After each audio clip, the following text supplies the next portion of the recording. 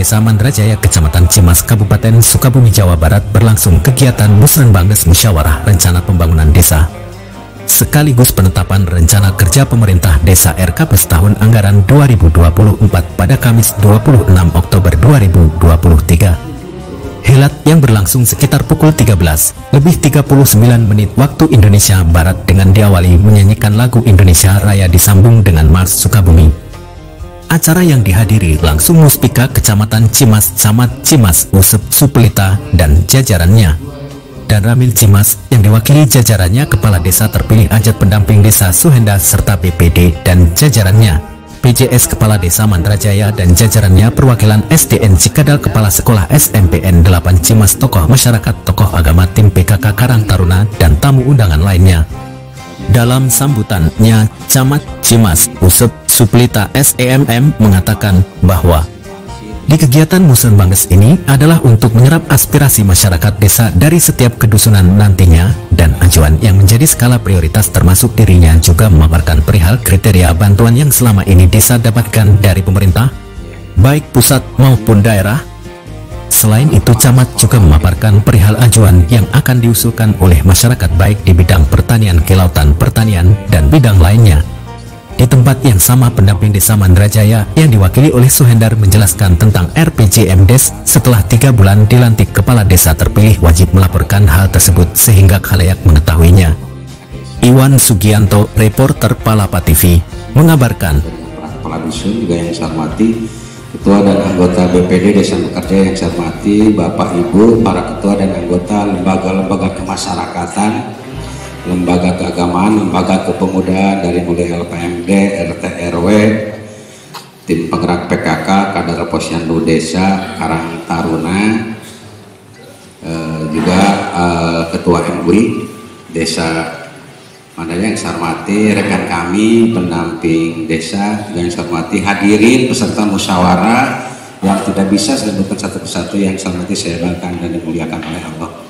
Yang pertama, marilah kita sama-sama manjatkan puja-puji tak syukur kita kepada Tuhan Yang Maha Kuasa atas curahan limpahan rahmat karunia atau hidayahnya di siang hari. Sudah terlihat oleh kita semua bahwa keuangan bantuan sudah direalisasikan oleh masyarakat.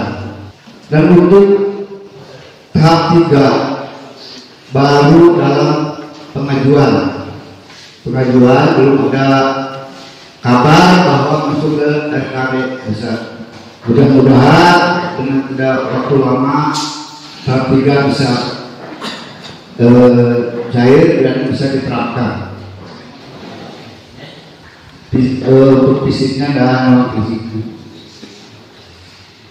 mungkin itu saja yang dapat kami sampaikan kepada pimpinan yang akan memandu nanti memandu jalannya musyawarah ini akan memberikan apa yang harus diajukan atau apa-apa saja yang harus kita rencanakan. Itu saja yang akan sampaikan. Assalamualaikum warahmatullahi wabarakatuh. Kurang awal kurang bebanat demi kemajuan Desa Mandrajaya genap tahun kahari. Tidak segala pidana diawali ku pengawalan penyusunan RPJM Des punten ke Pak Kades anu ada di lantai ke Pak Kades abdi wayahna ke tim uh, penyusun RKPDS anu ayeuna hasil musyawarah ieu kaitan anggaran kanggo penyusunan RPJMDes dan ganggunya. Soalnya eta mah kepentingan abdi mah nitip eta. Sok kieu lamun ayeuna tim penyusun RPJMDes misalkan mengusulkan 15 juta jam gajinya honornya yang air lalu pang melicai melikop pan kita musyawarah pak Iya cek aturan mah kieu musyawarah nanti. Aya musyawarah tingkat RT, maka se RT masyarakat tokoh ngumpul. Naon ieu di RT urang teh kuduna catat A B C D gitu. Susunkeun di setiap RT teh urutan 1 lamun aya 10 kebutuhan. A sampai Z dari semua X sektor ayat 10 kebutuhan tiap RT susunkan sepakati di setiap RT mana nomor hiji 2 sampai 10 artinya lamun di tanah abdi teh naros awal bumi. Oke abdi terang kebutuhan di lapangan. Kami ayeuna mah ditangkoskeun ku kementerian di data ini mah menyikapi tadi kepercayaan pak. Enggak kita mah upami kapayeuna difasilitasi ku dana desa kan dana saena namun upami hal anu sifatnya mendesak uh, da abdi lebih lebih ke penyuluhan kegiatan anak lebih ke swadayaan penting nama kia panginten Pak Pulo pilih tema ayah waktu nyaralse para petani. Ulang abdi mangga insya Allah ya abdi biasa masihan sebeberapa pihak anu kaitannya sarang peningkatan produksi usaha tadi termasuk tadi menyikapi pupuk objek insya Allah kurang biasa uh, menyikapi hal tersebut secara bijak Pak. Mohon. Kiewe, ini tema di sanes di Pulau Wungko di Nusanes, mangga panginten pertama bahwa musen Bang Des pada hari ini adalah jadwal terakhir musen dari 9 desa. Kebetulan memang di sini eh, baru saja melaksanakan pilkades dan kepala desa terpilihnya masih belum dilantik. Sehingga hasil musyawarah desa hari ini yang akan melaksanakan itu saja nanti kepala desa yang akan dilantik. Untuk itu tadi sengaja eh, kita mengundang yang bersangkutan Nah, dari musren hari ini ya minimal kita menghasilkan tiga dokumen.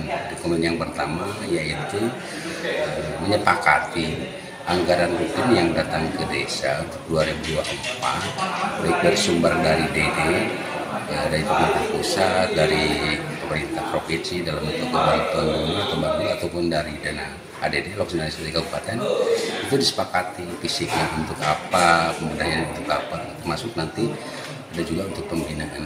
Selanjutnya tentu saja hal-hal yang bisa tidak bisa dilaksanakan oleh anggaran rutin desa karena bukan kewenangan desa atau uang yang diterima desa tidak mencukupi eh, kita ajukan melalui dokumen DURKP 2025 misalnya rencana kegiatan yang memang merupakan kebutuhan masanya akan kita usung akan dibahas di musim kecamatan musim kabupaten kami juga menyarankan semakin banyak kita mengusulkan daftar kebutuhan itu yang di Lampung ada teman pendukungnya Insya Allah akan harapan kita untuk mendapatkan e, kegiatan di luar bantuan rutin yang datang desa itu akan semakin besar.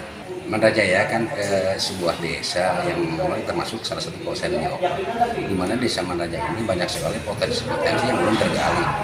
Itu akibatnya mungkin karena fasilitas terutama jalan dan jembatan menuju uh, destinasi wisata unggulan tersebut. Ya, sampai hari ini belum bisa kita gali ya untuk itu kami mengharapkan ada beberapa usulan baik uh, pembuatan jembatan atau pembuatan jalan menurut objek wisata itu. Ya mudah-mudahan lah itu uh, bisa mendapat perhatian dari pemerintah pusat gitu. Baik pemerintah kabupaten maupun pemerintah pusat. Sehingga uh, kegiatan masyarakat di pendidikan ekonomi itu akan akan cepat terbuka bila akses itu memang segera dibuka menuju uh, destinasi atau umroh yang ada di Samaraja.